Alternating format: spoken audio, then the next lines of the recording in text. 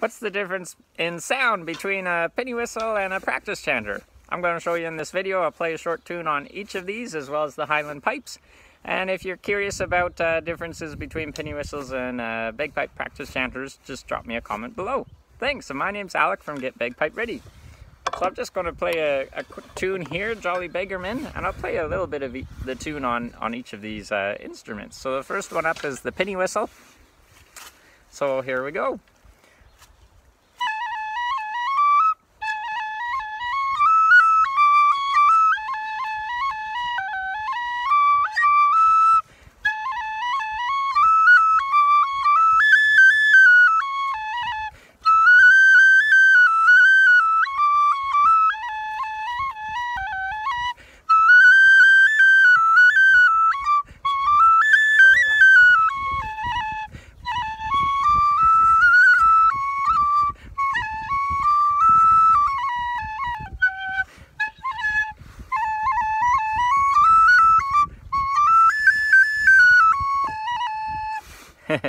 so there's the penny whistle. The wind was kind of blowing into it, cutting it out a bit.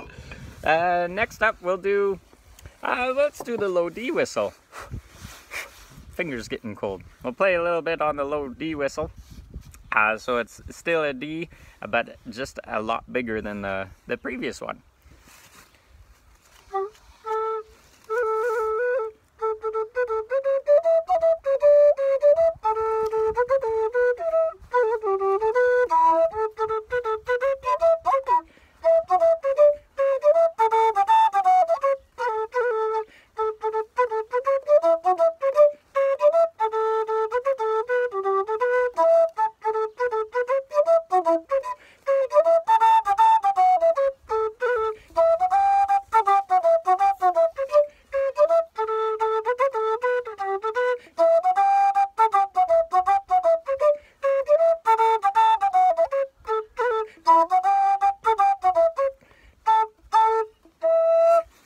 Okay, so you get the idea of the low D whistle. And uh, next up, we got the practice chanter. So this is the practice chanter for the bagpipes. If you're curious about the differences between the fingering on this and the penny whistle, check out my other video where I talk about differences between the two. So here's the same tune, Jolly Beggarman on the practice chanter.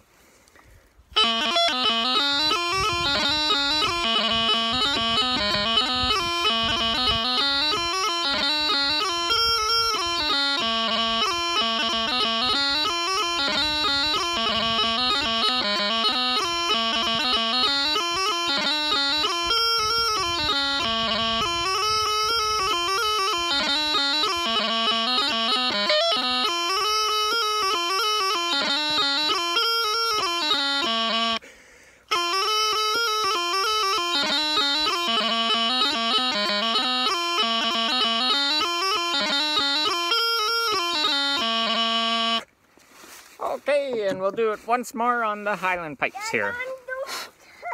make a model there, please. Okay, sounds good.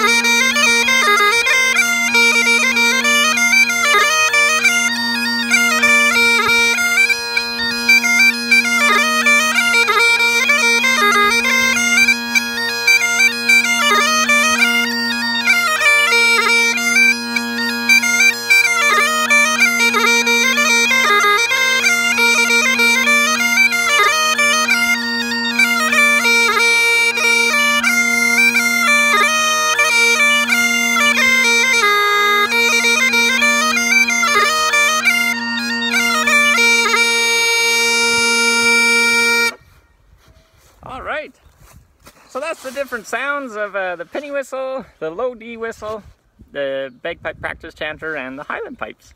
If you enjoyed learning about the differences in this video, let me know in the comments below. And if you're curious about if you maybe play the penny whistle and hey, can I switch to a practice chanter, check out my other video as well. Thanks, this has been Alec from Get Bagpipe Ready.